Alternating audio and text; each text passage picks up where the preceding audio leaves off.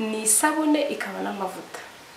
Muri kubyumva uyikoresha nk'isabune nanone ukayikorera ukayisiga. Umva iyi ngiyi ni ekonomi yayindi irenze ariko. Ariko irahumura ku buryo udashobora kumva irahumura neza pe. Ufite ibiheri niba uzi umuntu ufite ibiheri mva murangire ajya akoresha iyi sikarabe akaba ari sikarabu ikuraho biriya biheri biza bitunguranye. Mbese iragufasha kugira ngo bigende vuba kandi ntibitinde. Ikaze ku mubyeyi magazine. Niba uri mushya hano tuguhaye ikaze. Jye nibahizi umutesi hirya niba utarakora subscribe. Yikora nonaha. Kugira ngo tugumane ku mubyeyi magazine. Mbere y'uko dutangira rero ndabamenyesha ko Let's Shine yimukiye mu mujyi muri mike hasi hasi ahantu haberaga expo y'aba Egypt.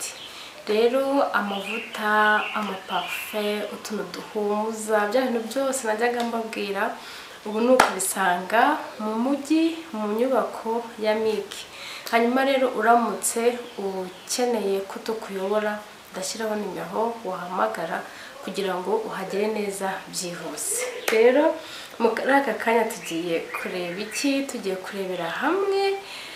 Hano rero hari kreme n'amavuta. Ariko iyi kreme ni igitangaza. Iyi kreme ntabwo isanzwe. Njya kuyifata hari abantu benshi bamwe muri mwebwe mwajyaga mungana muti ndashaka ikintu nkoresha rimwe ndashaka amavuta nisiga mu maso nkamanura no ku mubiri. Ndashaka amavuta atansaba ibintu byinshi. Noneho ngeze kuri iyi kreme yo noneho ndumirwa. Uti numiwe gute? Nasanze ari purpose gute rero?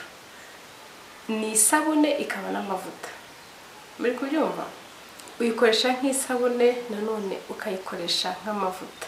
Ibyo nababwiraga ko ari ibitangaza. Ngiyi marike yayo ni jegenzi akaba ari all purpose face cream. Ni creme ukoresha mu maso no ku ijosi. Rero urayifata uri muri dushe nyine ugiye gukaraba ukuntu imeze. Isa pinki ariko irahumura ku buryo udashobora kumva. Irahumura neza pe. Irahumura. Ninkubwira ko ihumura ubyumve. Irahumura neza rwose nk'ako gasabune urumva ufatamo ngira ngo murabibona gutya ufatamo nyine nk'isabune ugiye gukaraba mu maso wimenaho amazi mu maso no ku ijosi wangiza ugafatamo gake ukagira ugazimanganya mu ntoki warangiza ugakaraba hanyuma warangiza ukihanagura wajya kwisiga ukongera ukayisiga. Umva iyi ngiyi ni ekonomi yayindi irenze ariko. Hanyuma rero jeganzi ni marike nabonye izwi cyane aya mavuta yakorewe yakorewe muri amerika from us made in us hanyuma rero aya mavuta iyi marike igira amavuta menshi menshi cyane.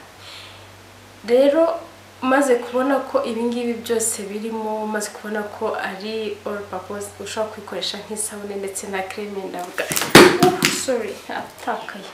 Ndavuga nti ntago nabyihererana ngomba kubibabwira ngomba kuyabereka hanyuma rero mukaza mukamera neza. Rero ntabwo ari ukuvuga ngo ni creme y'abantu bameze gute nta umuntu uwo ari we wese yayikoresha nk'isabune akanayikoresha. Nanone nka creme yo mu maso.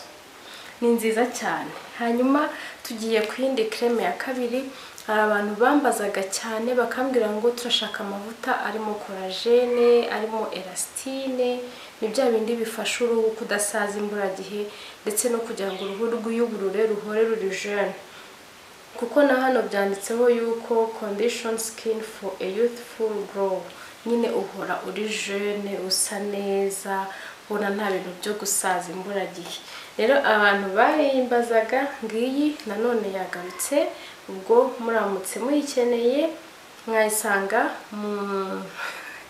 muri mike mu mujyi hahandi nababwiye twimukiye na yo ni creme nziza yo mu maso ndetse no ku ijosi irasa umweru Ah, na yo irahumura rwose ifite akaodoro keza. Ntabwo ihumura nabi rwose ihumura neza. Rero kwisiga ikintu wumva kinahumura kidacura umwuka biri soft rwose. Ntabwo bicura umwuka cyangwa ngo bibuze guhumeka. Twagiye rero. Ubundi impamvu nyamunini nagiye mu bintu by'amavuta. Ni uko narwaye ibiheri ni uko imyaka myinshi nayimaze ndwaye ibiheri mpora mfite inkovu ngahora nsa nabi ngahora mpangayitse abantu bakampangayikira abandi bakambaza. Ni ukuri ndavuga nti icyo nzajya mbona cyafasha abantu kugira ngo base neza bagire mu maso hase neza bakire ibiheri mbese buri wese yumve yikunze. Kuko iyo usa nabi nta rukundo uba wifitiye uhangayitse uba wumva nta muntu wakureba uba wumva buri muntu wese ukubonye ari cyo akubonaho.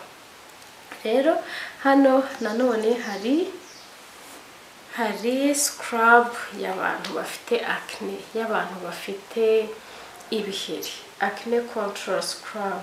Iyi scrub rero irimo salicylic acid acne medication.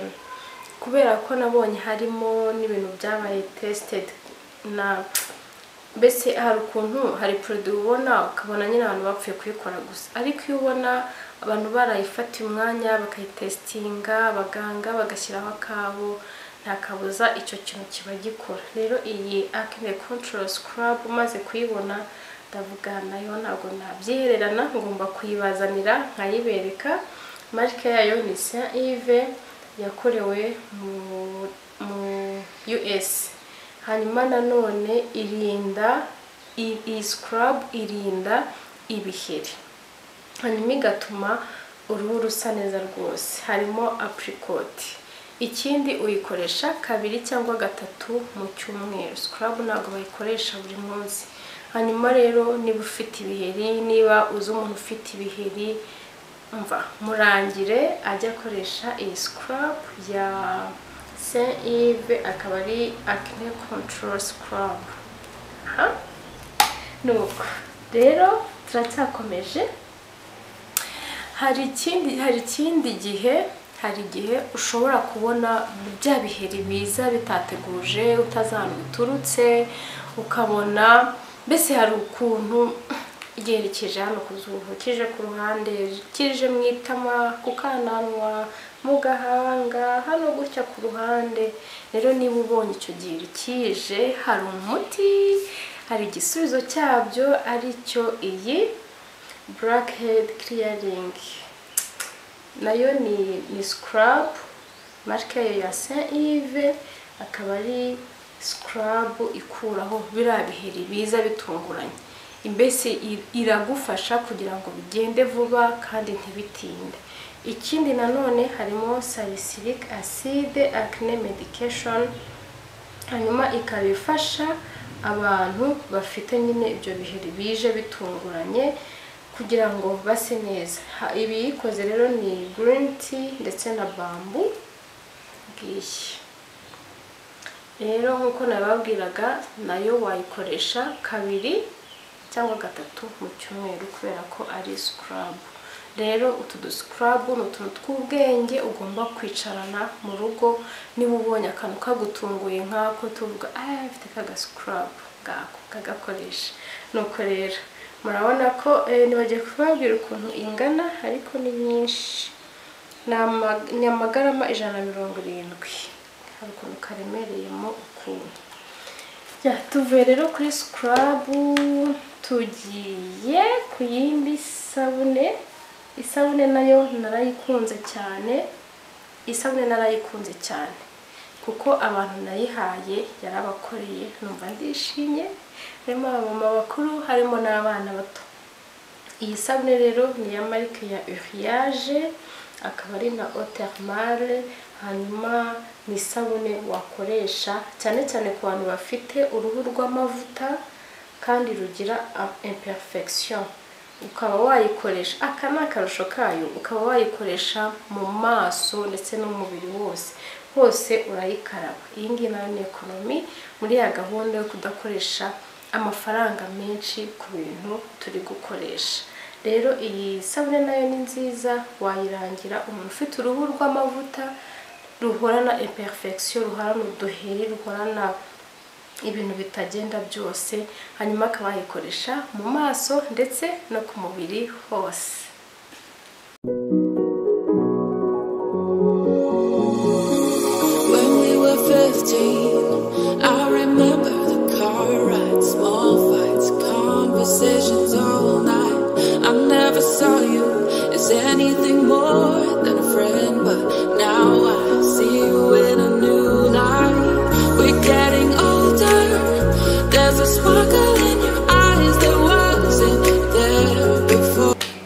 turakomeje rero burya ni byiza yuko iyo umaze gukaraba mu maso iyo umaze kwitunganya tuvuge wakarabye ujya kwisiga ni ngombwa yuko ucishaho katona kugira ngo gasukure by'umwihariko.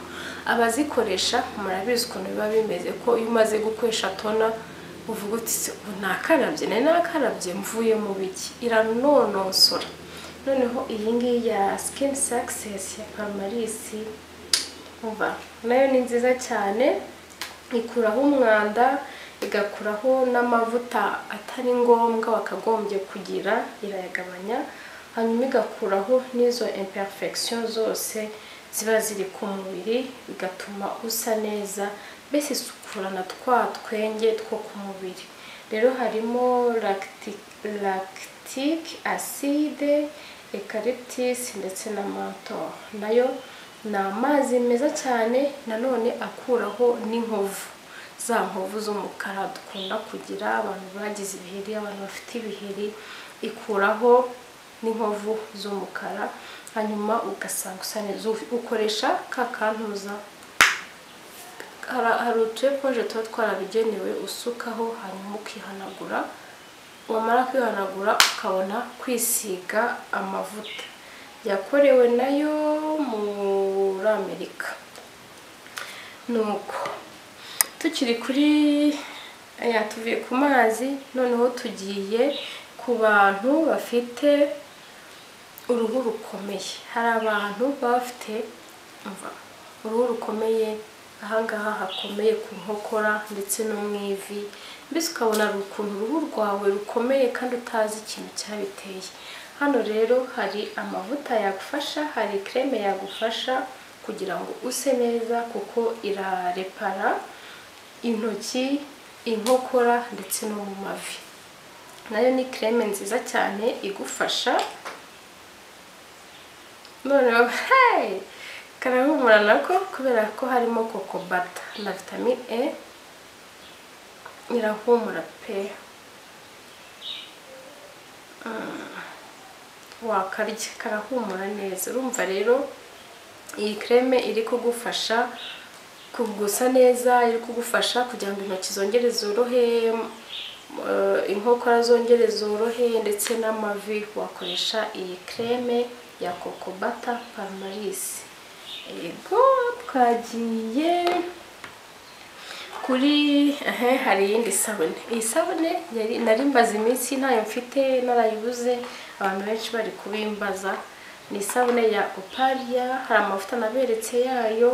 Iyi sabune yayo rero na yo ni nziza ni two in one ni goma ikanekerisisa irimo karoti gafungure mbereke. Karahumura.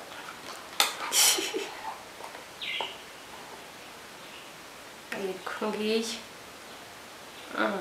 irahumura neza rero iyi sabune ituma ucya ugasa neza hanyuma rero umva.